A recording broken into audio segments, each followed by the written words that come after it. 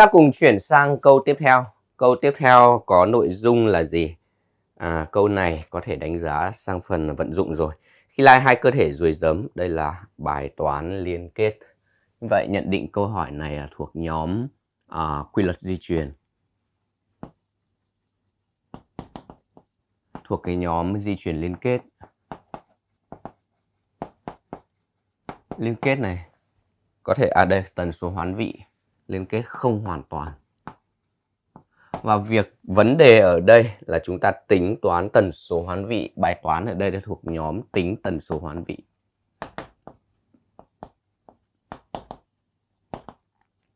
Và để có thể tính được tần số hoán vị cần phải xác định tỷ lệ kiểu hình. Tỷ lệ một cái kiểu hình nào đó mà điển hình nhất, dễ nhất đó chính là tỷ lệ kiểu hình lặn, lặn. Kiểu hình lặn lặn hay là A nhỏ, A nhỏ, B nhỏ, B nhỏ. Tất nhiên, đây là thầy phải đóng ngoặc vào bởi vì nó có cái cách viết của nó là cách viết di chuyển liên kết nó phải là A nhỏ B nhỏ trên A nhỏ B nhỏ. Vậy thì chúng ta sẽ thấy mấy cái vấn đề sau. Vấn đề thứ nhất ở cái nội dung bài này, đây là ruồi giấm tính hoán vị, nhớ rằng ruồi giấm hoán vị một bên. Ruồi giấm hoán vị một bên nhé. Chỉ bên con cái mới hoán vị thôi. Còn con đực thì không hoán vị. Nào ta sẽ có thân đen xám dài lai với nhau. Ta nhận thấy xám dài lai với xám dài. Ta được một phần trăm đen cụt A nhỏ B nhỏ trên A nhỏ B nhỏ. Xám lai với xám da đen như vậy. Cụt là à, xám với xám da đen là đen là lặn dài với dài ra cụt cụt là lặn, như vậy nó phải là đồng hợp lặn hai cặp rèn này. Để có thể bằng được cái này thì đương nhiên cái bên ruồi, bên bên giao tử đực ấy giao tử đực nó không hoán vị cho nên nó phải là 50% để có thể ra được cái này, tức là bên kia nó phải cho, bên đực nó phải cho giao tử A nhỏ B nhỏ, vì nó không có hoán vị cho nên phải ra 50% A nhỏ B nhỏ. Và nhân với bên cái, để có thể ra 1% thì bên kia nó sẽ là bao nhiêu? Sẽ là 2% A nhỏ B nhỏ. Ok chưa? Nó sẽ là 2% A nhỏ B nhỏ. Nhớ cái điều này cho thầy. Mà 2% A nhỏ B nhỏ, cái tỷ lệ này, đây chính là giao tử hoán vị. Vậy suy ra bên cái, bên cái A nhỏ B nhỏ bằng với A lớn B lớn bằng 2%. Và đây là giao tử hoán vị cho nên F hoán vị bằng bao nhiêu? Bằng 4%. Và như vậy, trong phương án, trong câu hỏi này thì đáp án của chúng ta, đáp án của câu hỏi chính là đáp án A 4%. Nhớ cái điều này cho thầy. Ok, chúng ta cùng chuẩn bị sang câu hỏi kế tiếp. Chúng ta cùng chuyển sang câu hỏi kế tiếp. Câu hỏi này có nội dung khi nói về hệ sinh thái và các khía cạnh liên quan đến hệ sinh thái cho các phát biểu sau đây. Trong số các phát biểu 1, 2, 3, 4 có bao nhiêu phát biểu chính xác như vậy là câu hỏi này là một cái câu hỏi về sinh thái học. Nội dung của chúng ta là về sinh thái. Mà cụ thể là nội dung hệ sinh thái. Thực ra câu hỏi này ở mức độ có thể nói là thông hiểu thì chính xác hơn. Nhưng nó cũng có thể được xếp vào sự vận dụng. Vận dụng ở đây thể hiện ở những cái tư duy so sánh, tư duy phân tích vận dụng này và giúp cho chúng ta đánh giá được xem cái nào đúng cái nào sai vì nó là câu hỏi một câu hỏi đếm. Ở đây chúng ta sẽ cùng phân tích bốn phương án ý 1 ý 2 ý 3 và ý 4 xem cái nào đúng cái nào sai và từ đó chúng ta tìm ra phương án A, B, C hay D nhé. Nào ở ý số 1 một hệ sinh thái hoàn chỉnh chỉ bao gồm quần xã sinh vật và quần thể sinh vật trong đó một hệ sinh thái hoàn chỉnh bao gồm quần xã sinh vật và môi trường sống. Và quần xã sinh vật là yếu tố sống, môi trường xung quanh có thể là các yếu tố thuộc về thời tiết như là nắng, mưa, gió, bão, nhiệt độ cao, nhiệt độ thấp, độ ẩm, các yếu tố thuộc về thời tiết khí hậu này, các à, yếu tố thuộc về uh, thổ nhưỡng, chất đất, địa hình, địa mạo, rồi thủy văn, dòng chảy, sông ngòi, vân vân. Đấy chính là cái các yếu tố cấu thành nên một hệ sinh thái hoàn chỉnh. Rõ ràng ở đây hay một hệ sinh thái không chỉ chứa quần xã. Hai, trong một cái quần xã hệ uh, của hệ sinh thái chỉ có, có thể chỉ chứa sinh vật sản xuất và sinh vật phân giải. Điều này thì đúng. Sinh vật sản xuất nó là sinh vật có khả năng tổng hợp chất hữu cơ cho riêng mình và khi nó chết đi thì sinh vật phân giải sẽ phân giải các chất hữu cơ đó và trả lại môi trường và lặp lại chu trình. Không nhất thiết phải có sự có mặt của uh, sinh vật tiêu thụ ở đây. Như vậy ý một đúng. À ý một sai ý hai đúng. Ý ba trong hệ sinh thái rừng nhiệt đới trong hệ sinh thái rừng nhiệt đới carbon thoát ra khỏi chu trình sinh địa hóa dưới dạng CO2 nên nhớ đây là một câu rất là dễ lừa. Câu này là câu bẫy rất là mạnh đấy gọi là just is cú lừa à, tại sao just is cú lừa trong hệ sinh thái rừng nhiệt đới carbon thoát ra khỏi chu trình sinh địa hóa dưới dạng CO2 Chúng ta nhớ rằng chu trình sinh địa hóa bao gồm các trạng CO2 đi vào thực vật, đi vào động vật rồi thoát ra dưới dạng CO2. Nhưng cái sự thoát ra đấy nó vẫn nằm trong vòng luân luân hồi, tức là vòng tuần hoàn của cái chu trình sinh địa hóa. Như vậy CO2 không thoát ra khỏi chu trình sinh địa hóa. Vậy carbon thoát ra khỏi chu trình sinh địa hóa khi nào? Khi nó lắng động dưới dạng trầm tích bị chôn sâu xuống dưới các tầng đất đá mà không tham gia vào chu trình sinh địa hóa nữa ví dụ như là các đá carbonat được ừ, dưới nền đáy hoặc là dầu mỏ than đá mà bị chôn uh, chôn sâu phía xuống phía dưới đấy là chính là sự thoát ra khỏi chu trình sinh địa hóa. Còn CO2 thì không thoát ra khỏi chu trình sinh địa hóa. Câu này dễ dẫn tới sự nhầm lẫn là CO2 thoát ra khỏi thực vật hoặc là động vật để tham gia vào cái chu trình sinh địa hóa dưới dạng nào thì đó là dưới dạng CO2 như vậy Ý 3 là một ý sai và nó một cái ý lừa rất là nghiêm trọng. Ý 4, hệ sinh thái lớn nhất là sinh quyền ở cấp độ này không có sự trao đổi vật chất và năng lượng với thế giới bên ngoài. Cái này là một sự sai lầm bởi vì sao? À, sinh quyền là toàn bộ hệ thống sống trên trái đất nó vẫn có thể tiếp nhận các vật chất từ vũ trụ và thậm chí là à, hàng ngày hàng giờ nó tiếp nhận năng lượng từ ánh sáng mặt trời cung cấp cho mọi hoạt động sống trên à, hành tinh của chúng ta. Do vậy mà chúng ta nói rằng ý 4 là sai khi nói rằng hệ sinh thái này, hệ sinh thái sinh quyền không có sự trao đổi vật chất và năng lượng với thế giới bên ngoài. Như vậy, 1, 3, 4 sai. Có một hai đúng thôi, đáp án của chúng ta là đáp án B cho câu hỏi này. Ok, cũng không khó lắm nhưng mà cần phải phân tích cẩn thận, không có rất là dễ mắc bẫy của các thầy, đúng không? Các thầy làm đề, mục đích cuối cùng là lừa học sinh mà lừa được học sinh thì các thầy rất là phê. ok, chúng ta cùng chuyển sang câu kế tiếp. Chúng ta cùng chuyển sang câu hỏi tiếp theo. Ở câu hỏi này, nội dung câu hỏi như sau này.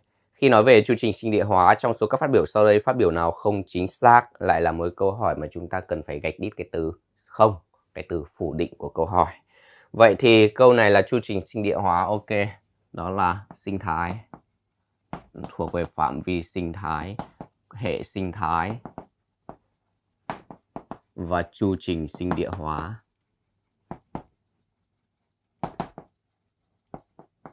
Cái câu này có thể đánh giá ở mức hiểu và vận dụng trung gian giữa hiểu, thông hiểu và vận dụng.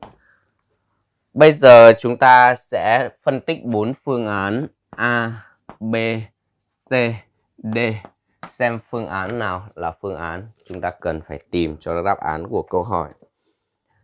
Người ta hỏi không chính xác.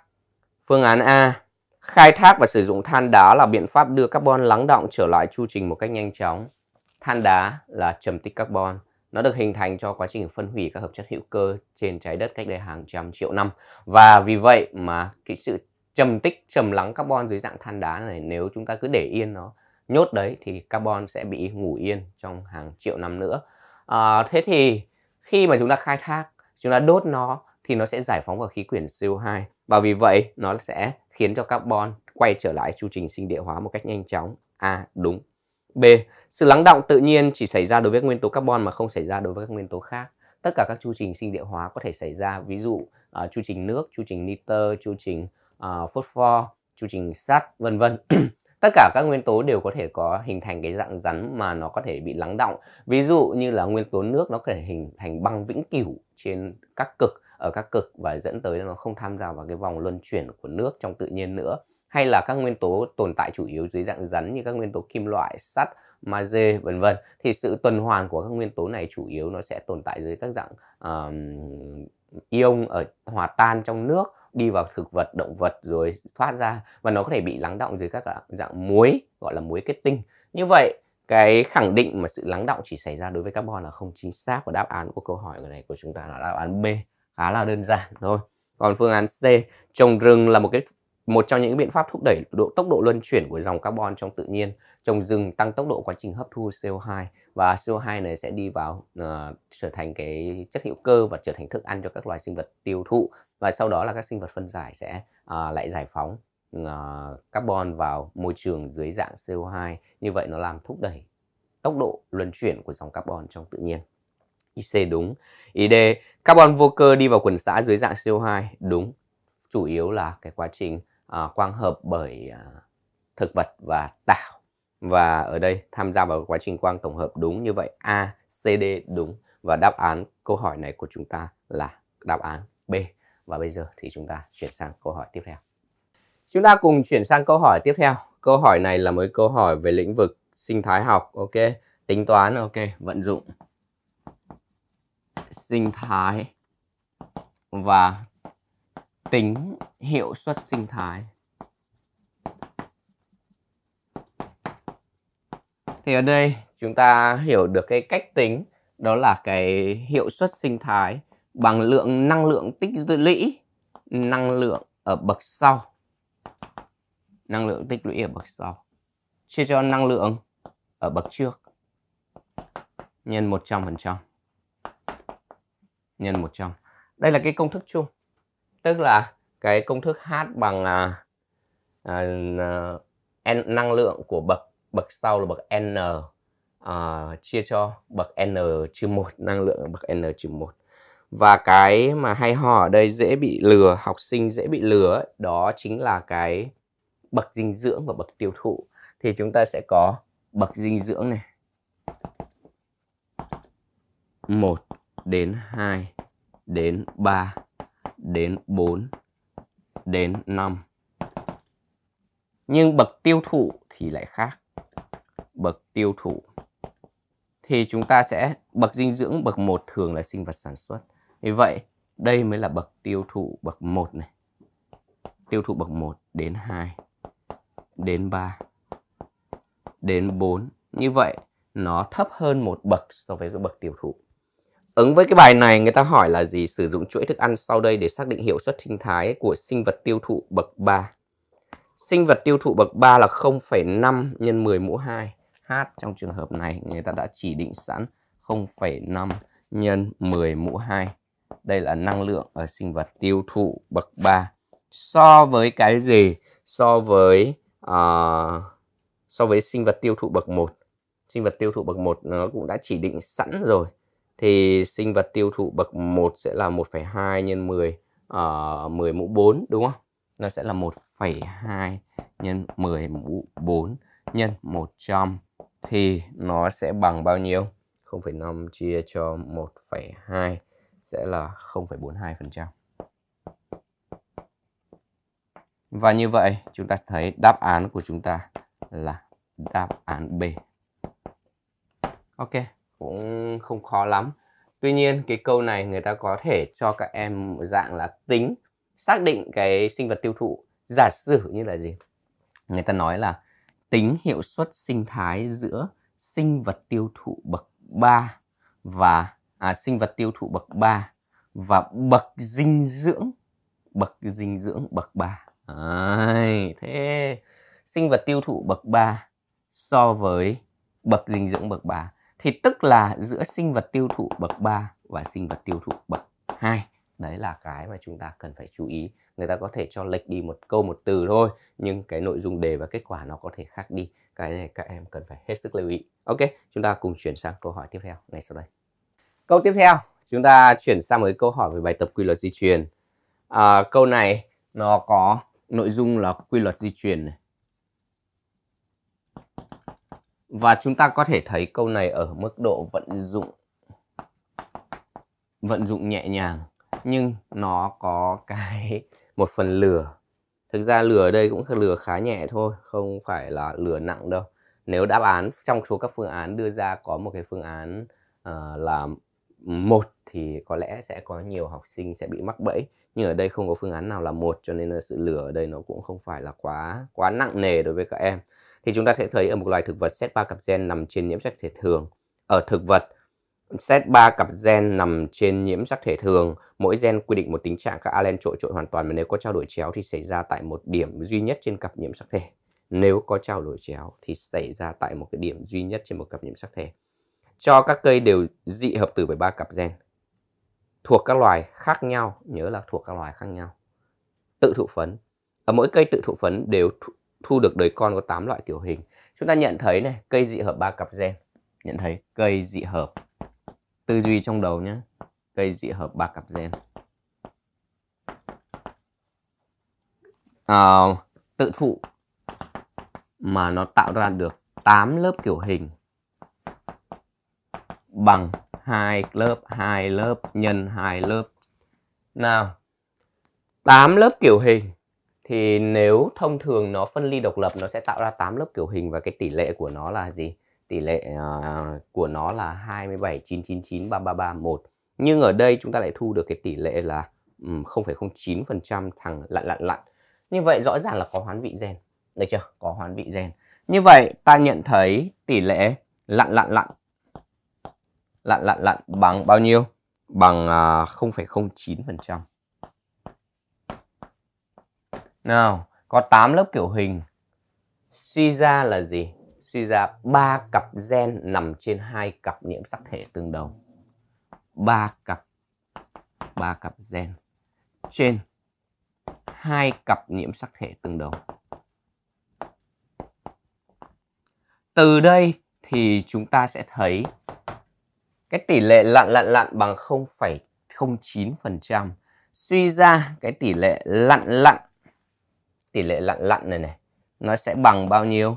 cái locus thứ ba lặn thứ ba sẽ là phân ly độc lập cho nên lặn lặn này sẽ bằng 0,09 chia cho 25% sẽ bằng 3,6%.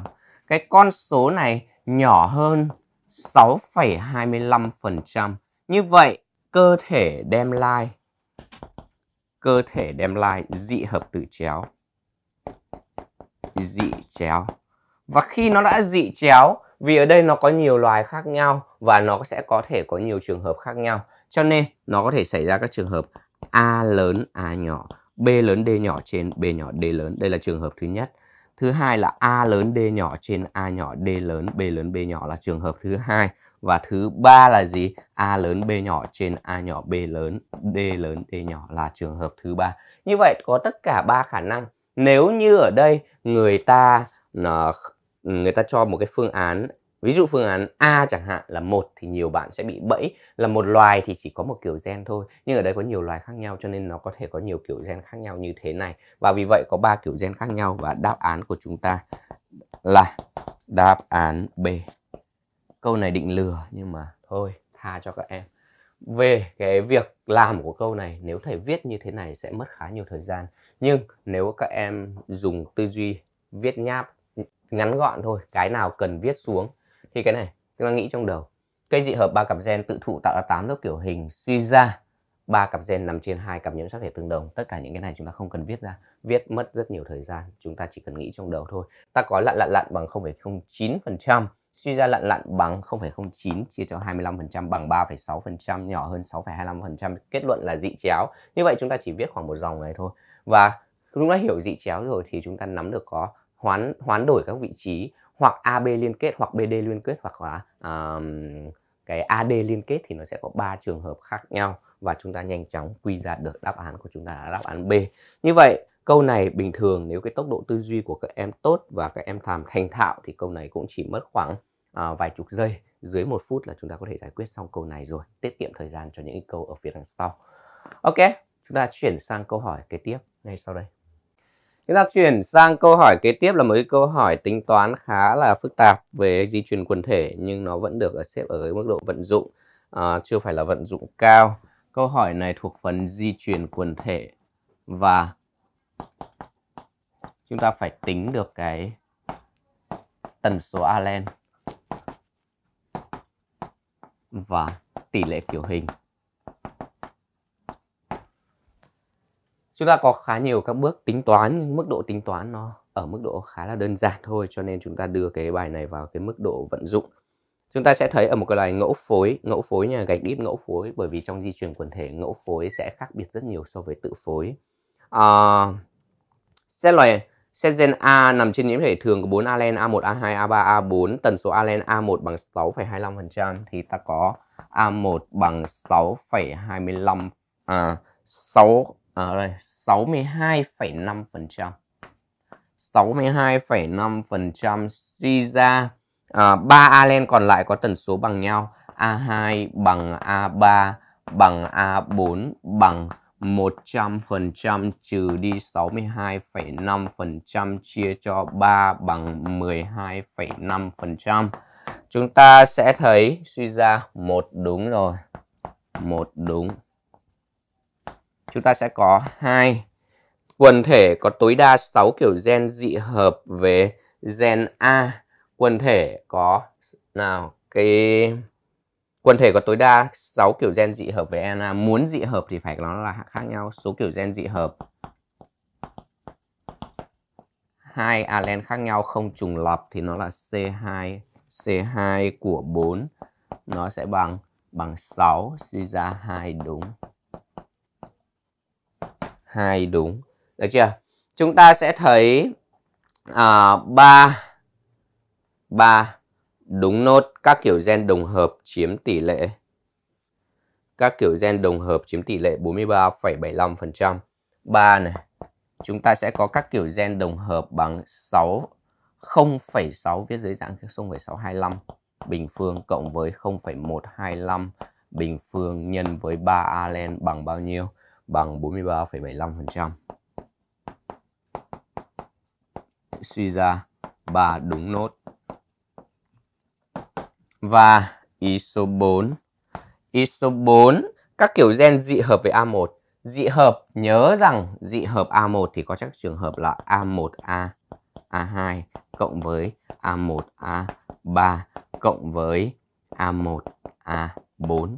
Nhưng nhớ rằng, nhớ rằng trong một cái quần thể này là quần thể đang cân bằng di truyền tần số kiểu gen tỷ lệ cái kiểu gen A1 A2 nó phải là 2A1 A2, 2A1 A3 và 2A1 A4. Thay các giá trị vào A1 bằng 0,625, A2 A3 A4 thì nó bằng nhau bằng 0,125 như nó phải nó nó bằng bao nhiêu? Bằng 6 nhân với 0,625 nhân với à, 0,125 bằng bao nhiêu?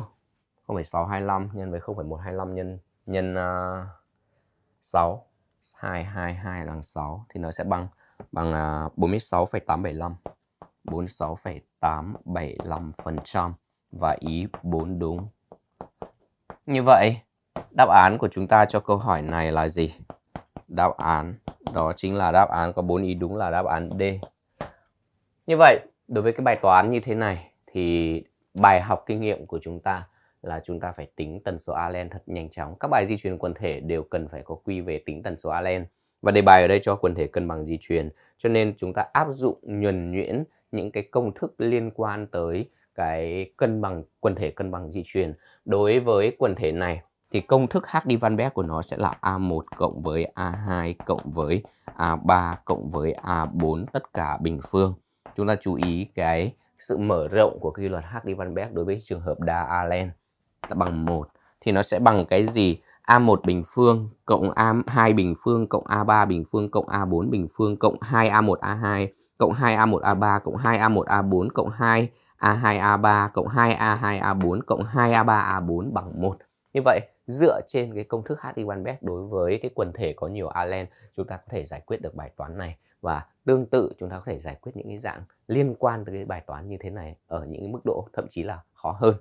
Ok, đấy là câu hỏi tiếp theo của câu hỏi của chúng ta. Và bây giờ chúng ta sẽ chuyển sang câu hỏi kế tiếp ngay sau đây. Chúng ta cùng chuyển sang câu hỏi tiếp theo. Câu hỏi này có nội dung liên quan tới cái vấn đề à, đánh giá xem quần thể nào cân bằng di truyền. Như vậy nó thuộc nội dung là di truyền quần thể. Ở đây là di truyền quần thể. Và xác định quần thể cân bằng di truyền.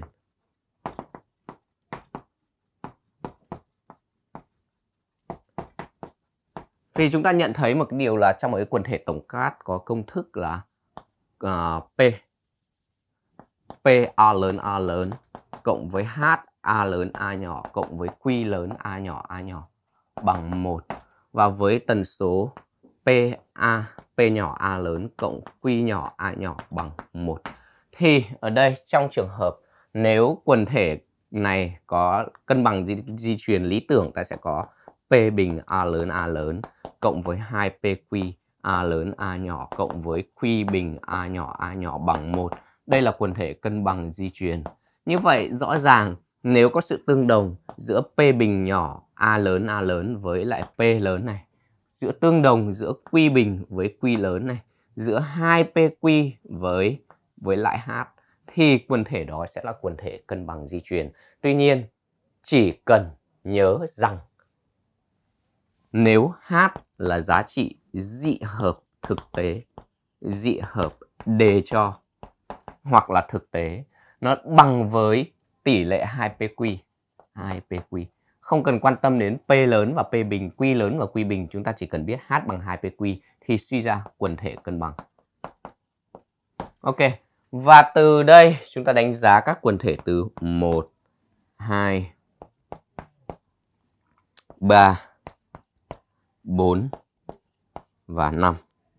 Chúng ta đánh giá 5 quần thể theo đề ra. Và chúng ta sẽ cùng phân tích cái 4 5 cái quần thể này để xem mối tương quan giữa cái tần số Allen PQ và cái tỷ lệ dị hợp H nó sẽ như thế nào từ đó chúng ta có thể kết luận quần thể này là quần thể cân bằng hay không. Ở cái quần thể số 1 0,5 A lớn A lớn và 0,5 A nhỏ A nhỏ chúng ta sẽ phải tính nhanh P bằng P nhỏ P bằng 0,5 Q bằng 0,5 suy ra H mà mà H bằng 0 H ở đây không có dị hợp H bằng 0 như vậy 2PQ bằng 0,25 đúng không? À, 2PQ bằng 0,5 thầy xin lỗi. 2PQ bằng 0,5 H bằng 0 quần thể này không cân bằng.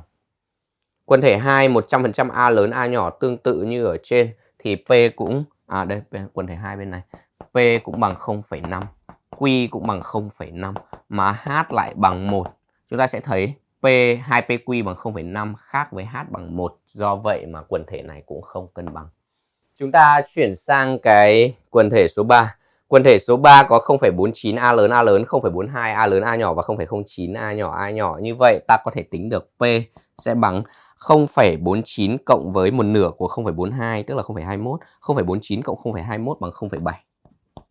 Và Q sẽ bằng 0,3.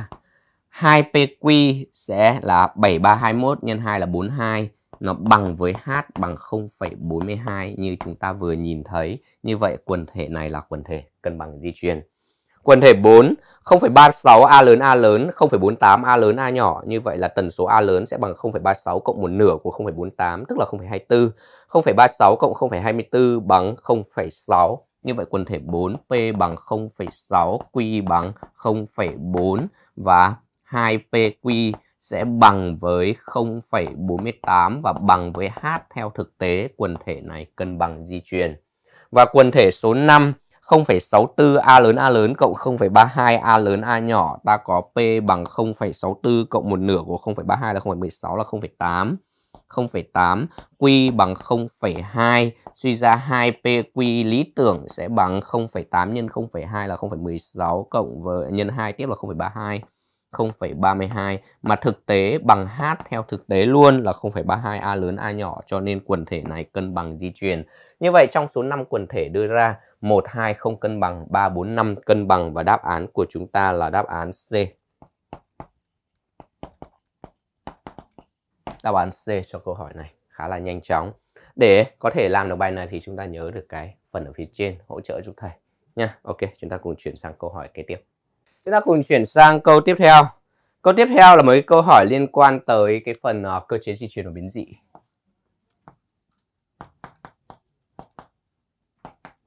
Và nội dung nó là phép lai đa bội. Phép lai đa bội hoặc là phép lai lệch bội. Chúng ta nhận thấy này người ta đưa ra các phép lai 1 2 3 4 5 6, các phép lai mà đời sau có ba loại kiểu gen. À, và bài này sẽ là khá là củ chuối đối với rất nhiều thí sinh. Vì sao nó là củ chuối? Bởi vì chúng ta sẽ mất rất nhiều thời gian ở đây, nó có tới 6 phép like cơ.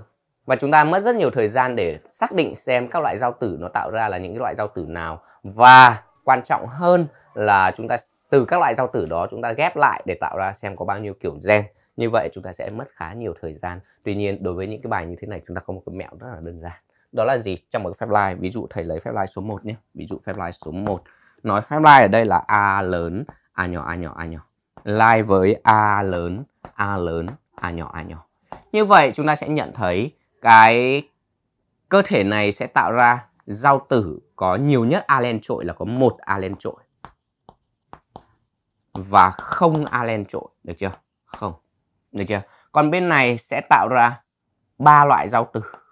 Ba loại giao tử đó là hai alen trội, a lớn a lớn, một alen trội a lớn, a nhỏ và không A len trội, a a nhỏ a nhỏ như vậy, chúng ta sẽ có mấy loại kiểu gen có thể tạo ra thì ở đây nhiều nhất, số alen trội nhiều nhất có thể xuất hiện trong một kiểu gen là 2 với 1 là 3 alen trội. Số alen ít nhất là 0. Như vậy, ta sẽ có các trường hợp 3 alen trội, A lớn A lớn A lớn, A nhỏ. 2 alen trội, A lớn A lớn, A nhỏ A nhỏ. 1 alen trội alen A lớn, A nhỏ A nhỏ A nhỏ và không alen trội, A nhỏ A nhỏ A nhỏ A nhỏ. Như vậy chúng ta sẽ dùng cái dấu hiệu đầu tiên là có 3 allen trội là đầu trên dấu hiệu có không allen trội là đầu dưới và chúng ta sẽ tịnh tiến số lượng allen trội giảm đi một lần lượt. Như vậy chúng ta sẽ có bốn kiểu gen trong trường hợp này nhé.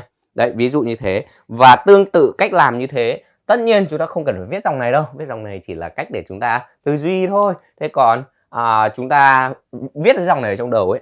Thế thì chúng ta áp dụng với cái chương trình phần thứ hai. Phần thứ hai sẽ là gì? Có bên này có giao tử một bên có một alen trội không alen trội một alen trội không alen trội thì tối đa nó sẽ có hai alen trội.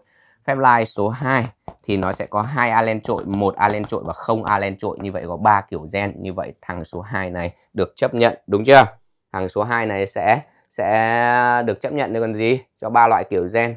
Thế thì chúng ta sẽ thấy số 3 à, nhân vật số 3 phép lai số 3 là A lớn, A nhỏ A nhỏ like với A nhỏ A nhỏ A nhỏ. Như vậy nó có thể, trường hợp số 3 phép like số 3 chỉ có thể một A trội, không A trội. Như vậy có hai kiểu gen thằng này không được không được, đúng không? Số 4 số 4 là A lớn A lớn A lớn, A nhỏ like với A lớn, A nhỏ A nhỏ. Nhiều nhất sẽ có bao nhiêu A len bên à, mẹ cho? Bên mẹ cho, một bên cho giao tử có chứa hai alen trội, bên kia chỉ có một alen trội. Như vậy, nó sẽ có cái gì? Có 3 alen trội, có hai alen trội, có một alen trội.